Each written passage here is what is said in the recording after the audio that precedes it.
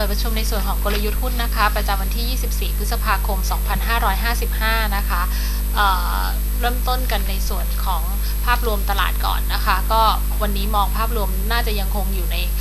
กรอบแนวโน้มขาลงไม่เปลี่ยนแปลงนะคะ เพียงแต่ว่าการที่ดัชนีร่วงหล่นลงมาค่อนข้างยาวนานนะคะ แล้วก็ลงมาค่อนข้างแรงหลายวันติดต่อกันตรงนี้เนี่ยโอกาสที่จะลุ้นกันรีบาวในช่วงสั้น ก็ยังมองว่ามีความเป็นไปได้มากขึ้นนะคะ ก็เรามองแถวแนวรับที่ 1,000 100 นะคะ บวกลบนะคะ ตรงนี้เนี่ยคาดว่าอาจจะเห็นมีการรีบาวทางด้านเทคนิคเกิดขึ้นนะคะ ในแง่ของปัจจัยต่างๆ ที่จะอัปเดตให้ในช่วงนี้เนี่ยคิดว่าความกังวลใจหลักยังไม่ได้เปลี่ยนแปลงไปนะคะ ตลาดยังคงจับตาดูเรื่องของวิกฤตนี่ยูโรโซนต่อไปนะคะ ซึ่งการประชุมตัวผู้นำ EU เมื่อวานนี้ก็ยังไม่ได้มีการประกาศอะไรที่เป็นที่ชัดเจนออกมานะคะ มีข่าวเรื่องเกี่ยวกับการที่จะ เริ่มพิจารณาข้อเสนอในการที่จะรับประกันเงินฝากของธนาคารต่างๆ ในยูโรโซนนะคะ ซึ่งตอนนี้เนี่ยก็เริ่มมีปัญหาเรื่องการแห่ถอนเงินของประชาชนในหลายประเทศนะคะ เริ่มต้นจากที่กรีซแล้วก็ลามมาที่สเปนนะคะ ตรงนี้ก็คิดว่าอาจจะเป็นมาตรการอันหนึ่งที่จะประกาศออกมาเพื่อผ่อนคลายความวิตกกังวลของตลาดนะคะ ในแง่ของประเด็นที่นักลงทุนจับตาเกี่ยวกับการออก Eurobond ตรงนี้เนี่ยก็ถือว่ายังไม่เห็นความคืบหน้านะคะไม่ได้มีการกล่าวถึงนะคะ ซึ่งอันนี้เราเคยพูดไปแล้วในเรื่องของ Eurobond นะคะว่าก็คงเป็นไปได้ยากถ้ายังไม่ได้รับความร่วมมือหรือสนับสนุนจากเยอรมนีซึ่งเป็นประเทศใหญ่ที่สุด แล้วก็มีเรตติ้งที่สูงอยู่ในส่วนของ Triple A นะคะตรงนี้ถ้าเขาไม่เห็นด้วยหรือไม่สนับสนุนท่าทีตรงนี้ยังไม่ได้เปลี่ยนแปลงไปเนี่ยก็คงค่อนข้างยากสำหรับ concept เรื่องของการออกยูโรบอลนะคะ ในแง่ของกรีซเองเนี่ยประเด็นปัญหายังคงค้างคาอยู่นะคะก็เริ่มที่จะมีการกล่าวถึงเรื่องการวางแผนสำรอง ถ้าจะมีการ ที่กรีซจะต้องออกไปจากกลุ่มยูโรโซนนะคะ ตรงนี้ก็เป็นอัปเดตข่าวคราวจากทางด้านยุโรปมานะคะ โดยรวมแล้วเนี่ยยังมองไม่ได้เห็นว่ามีความเปลี่ยนแปลงไปมากนะคะ ซึ่งตลาดเนี่ยได้รับข่าวในเชิงลบไปค่อนข้างเยอะระดับหนึ่งแล้วนะคะ เราก็เลยมองว่าไอ้ดาวไซด์ตรงนี้อาจจะเริ่มชะลอตัวลง เพื่อที่จะรอดูความคืบหน้าของสถานการณ์มากขึ้นนะคะ อย่างไรก็ตามเนี่ยไอ้ขาที่จะดีดตัวตรงนี้เรายังคงมองว่าความคืบหน้าในเชิงบวกที่เด่นชัดที่จะมากระตุ้นการฟื้นตัวอย่างจริงจังตรงนี้ยังค่อนข้างยากที่จะได้เห็นเหมือนกันนะคะ เพราะฉะนั้นเราคาดหวังเพียงแค่การฟื้นตัวแบบรีบาวในในเชิงเทคนิคในช่วงสั้นเท่านั้นนะคะ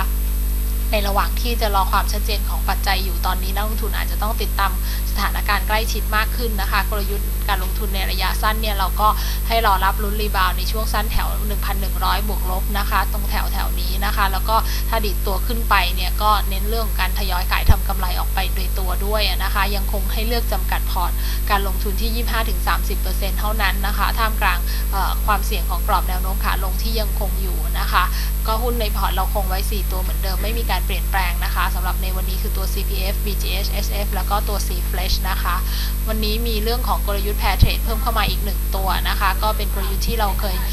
แนะนำแล้วก็จะอัปเดตให้อย่างต่อเนื่องนะคะ ในส่วนของกลยุทธ์ตัวแพรเทรดเนี่ยก็คือการเข้าซื้อหุ้น 1 ตัวแล้วก็ขาย 1 ตัวพร้อมกัน